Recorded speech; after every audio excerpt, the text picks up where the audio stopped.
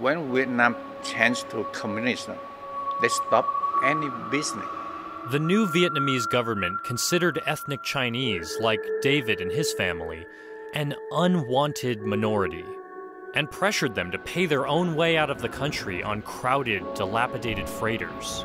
All around me, my, my friend, my relative, they live Vietnam, so I follow them. After a five day voyage, 3,300 refugees, codenamed Frozen Ducks, arrived unannounced in Hong Kong waters.